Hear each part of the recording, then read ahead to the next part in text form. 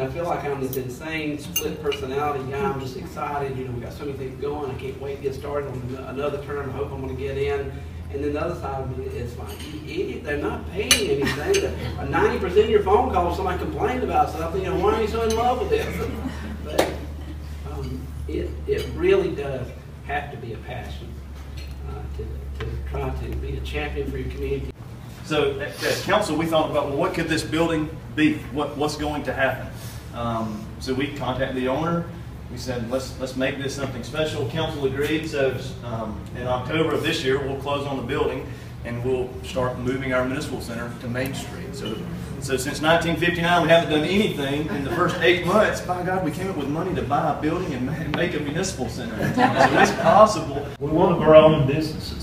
We want them to come up. That's how you get corporate headquarters. That's when you have successful things that are happening in your community. make sure we've got a seat at the table. If you're anywhere near us, we want to talk to you.